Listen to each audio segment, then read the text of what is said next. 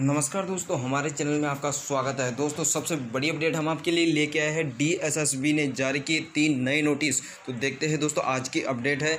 आज का अपडेट, विद्यार्थी देखे अपना रोल नंबर। तो चलिए दोस्तों, देखते हैं आज की क्या अपडेट है। तो सबसे पहले मैं आपको बता देता हूँ कि ये आज की अपडेट है। पंद्रह छः दो की रिजेक्शन नोटिस है। छः सौ चौंतीस डेट है पंद्रह छः दो इसमें आपको बताया गया है, फार्मासिस्ट पोस्ट कोड दो अट्ठारह in health family welfare department. तो इसमें आपको ओ एच कैटेगरी, जनरल और ओ बी सी कैटेगरी है। इसमें रोल नंबर दे रखे हैं और इसमें रीजन दे रखा है। किस रीजन में आपका जो डॉक्यूमेंट्सों की जो कमी है, उसका आपको टाइम दिया गया है, जो और जो टाइम दिया गया आपको तो देखते हैं दोस्तों आपको क्या टाइम दिया गया है। इसके अलावा जो जिन विद्यार्थियों का इसमें नाम आया है, वो अपना रोल रोल नंबर अवश्य देख लें। और ये देखिए दोस्तों इसमें रोल नंबर है और रीजन है रीमार्क किस कारण से और उनको बुलाया गया है। ई डोसर के failed failed upload, E dossier, ये सारी डिटेल में है। एससी कैटेगरी के रोल नंबर है।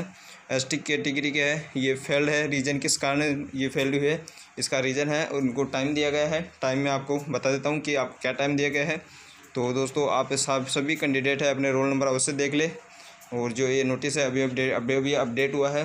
तो दोस्तों, आपको वीडियो अच्छा लगे तो चैनल को सब्सक्राइब कीजिए। चलिए दोस्तों, आगे की क्या अपडेट है, वो देख लेते हैं।